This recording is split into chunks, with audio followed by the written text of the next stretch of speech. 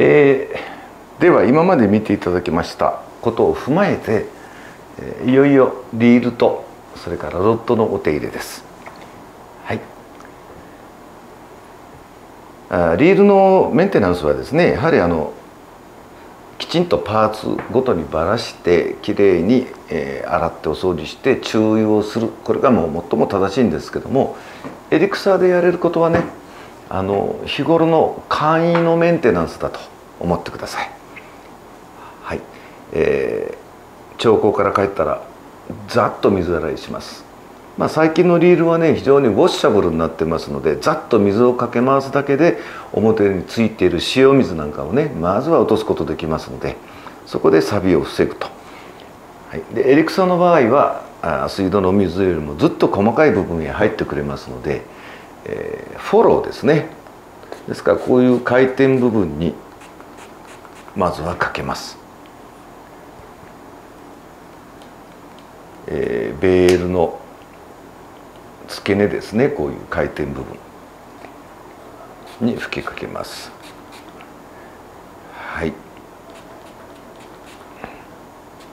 それからスプール。糸の上からしっかり拭いてください。こうすることによってラインの中へ入ってる汚れも、えー、落としやすくなります。上からね。本当は全部糸を抜いて糸をお風呂にこう渦巻き状に落とし込んでいって、えー、ライン自体を洗うのが一番正しいんですけどもなかなかね、えー、毎回毎回それはできませんので簡易の、えー、お手入れ方法です。ざっと回転部分に吹きかけました、ね、そしたらゴミをねぱりほこりを出したいので回転部分をしっかり動かしてやるということです。エリクサーを吹きかけておいて動かします。はい。ラインローラーのベアリング部分にも吹きかけましたからここもちょっとね指で動かしてやって動かしてる間にだんだんだんだん汚れが表に出てきます、えー、ノブの部分も同じです。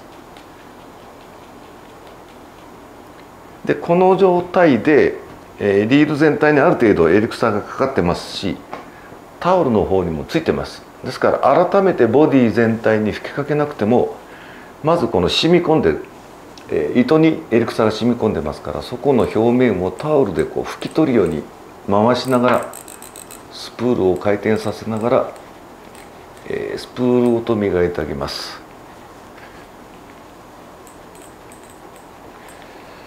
もうこれだけでですねタオルの方にも十分エリクサーが染み込んでいますからこれでボディ全体を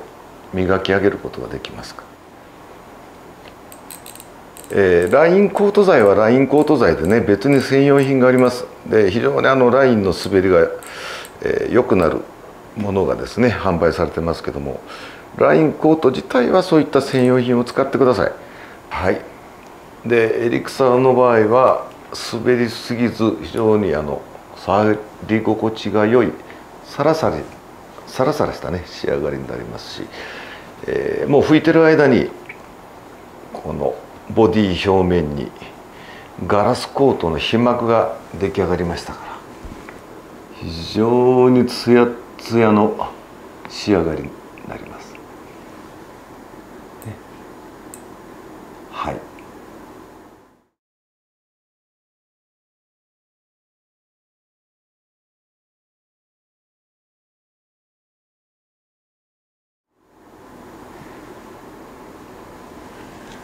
で、えー、ライン自体もスプールの上からある程度ガラスコート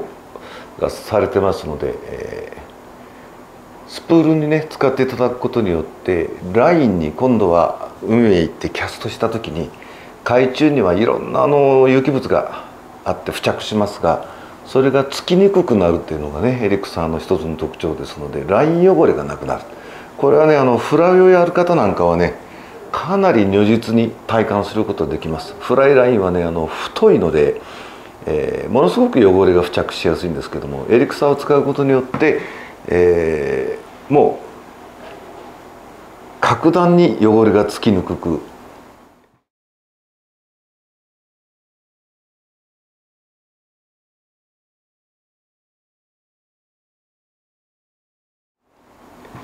えー、フライリールからねラインが出ていくのも滑らかになりますしガラスコーティングがなされますので多少ね糸に張りが出てくるんです。だから非常にあのキャスティングがしやすいラインによみがえったりします。それからフライラインの場合は、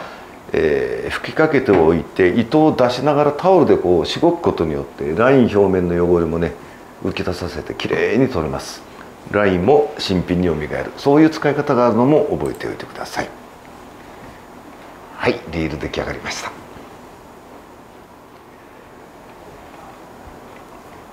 さて次はいよいよロットなんですけどもロットはねこれまでの工程と少しやり方を変えます。この製品のパッケージの中に塗り付け用のスポンジが入ってます。まずこれを取り出していただくんですけどはいこんな大きさのものなんです。でこれ1枚は使わなくても結構です。大きすぎます、えー、裏が平面。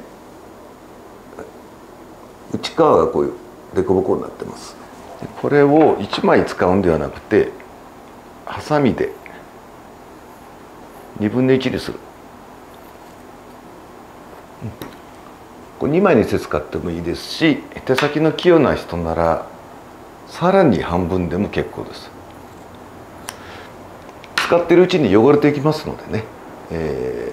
ー、まあ4分の14分割すれば、えー、4回使える4回というよりは、えー、4個分使えるということですね。であくまでもねロットの場合はロットの表面の汚れも落とすんですけどもやはりロットの表面のコーティングを保持する。えあるいはね小さく細かくついている傷をえー、保護するという意味で拭くというより塗りつけるというイメージでねやっていただきたいんです。したがってタオルは最後の仕上げで、えー、磨く時だけ使います。塗りつける時はこのスポンジ。凹凸のある側へエリクサーを吹きつけます。はい、えー、家庭用の台所のスポンジのように一見見えますがこれもえー、僕の方で何十種類かその取り寄せた、えー、ウレタンスポンジの中からですねあの非常にこのお掃除にエリクサー用に見合ったものを選択しました。一見同じように見えるんですけどここへたっぷり吹きつけてるにもかかわらず裏へあまり抜けてこないんですよ。要は表面の凹凸の中にしっかりエリクサーが含まれてる状態を保持してるんですね。こっち側は全く濡れてません。こっち側はほとんどべちょべちょな感じです。はい、この状態にしておいて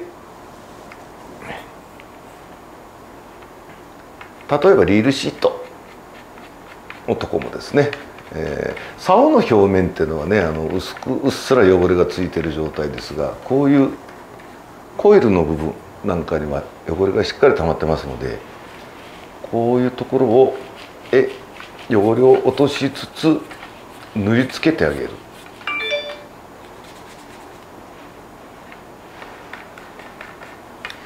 えー、グリップの EVA もですね手垢や水垢等々で汚れてますので塗りつけます。で EVA やコルクその他をですね傷めずにエリクサーは汚れを浮き出させてきれいにしていきますからここら辺はですねしっかり汚れを落とすつもりでこのスポンジで拭いてください。この状態で汚れが随分表に浮き出てきてますからタオルでしっかりと拭き取ると。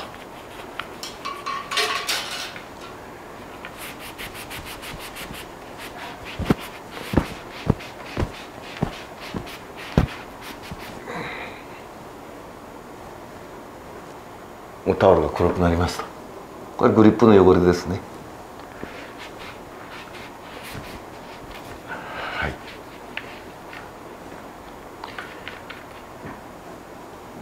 まだ十分残ってますからね、えこっちか。はい。でロットの表面へ塗りつけるようにしていきます。でねあの魚が釣れて針を外したりする間に竿を少し堤防へ立てかけたり車へ立てかけたり、えー、地面を置いたり余儀なくされるわけなんですけどもその時にね気をつけているようでもやはりねいつの間にか当ててしまって細かい傷がついてるもんなんです。はい。2ピースです。ここのフェルール部分。は特にしっかり、えー、磨き落とします。こするようにして塗りつけていきます。はい。ガイド。この凹凸がですねガイドの内側を掃除するのに非常に役に立ちます。挟み込むように掴んでこう回していただくとガイドの内側の汚れもねきれいに拭け取ります。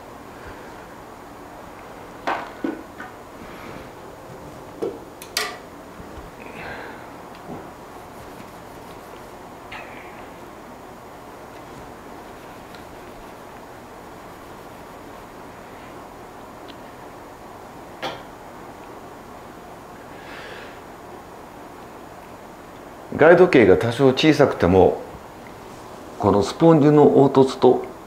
さらにはそのスポンジの小さな目がですねこのガイドを挟み込んで回すことによって内側までしっかり届いてくれますから、えー、まあ、歯間ブラシなんかを使って丁寧にやるのもいいんですけども、えー、十分このスポンジでですねガイドの内側までお掃除できます。ブランクへ塗りつけてはガイドをつまんでガイドの内側まで汚れを落とすようにしていきます。はい。この状態で塗り付け終わりましたから、え少し時間を置いて乾くまで待ちます。はい。乾きました。すぐ乾きます。ほんの数分です。でここからはですねあの綺麗な乾いたタオルでここからは磨き拭き取るだけです。磨くように拭き取ります。この段階で多分体感していただけると思うんですけどサラサラツルツル滑りすぎない適度な、えー、ツルツルした感じをね得ることができます。あんま滑りすぎるとね竿やリールっていうのはね非常に使いづらくなりますのであの滑りやすくするための素材を入れることは簡単なんですけどもあの入れません。ナチュラルな滑りとツヤを確保できるように調整しました。綺麗になりましたね。これで糸の張り付きを防ぎ、えー、釣りが軽快にできるようにねロッドもよみがえりました？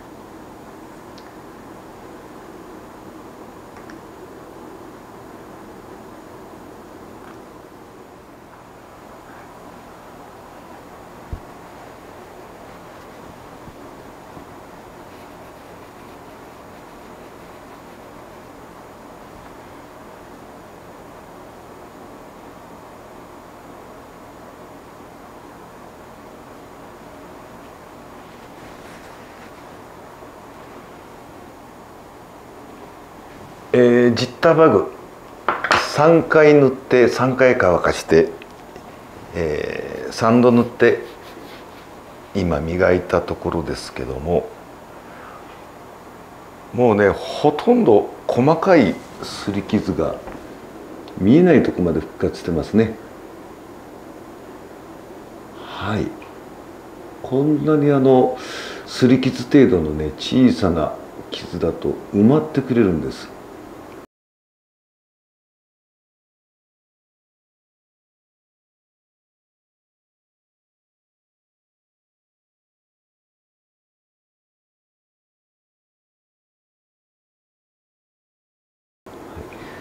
これが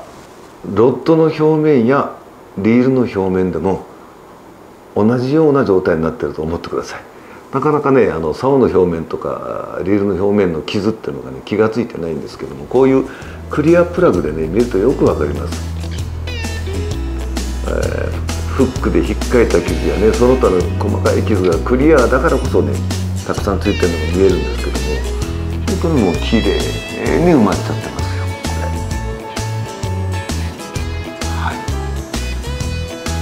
それが釣り竿やリールの表面も同じように修復されますよというのがタックルエリクサーでした。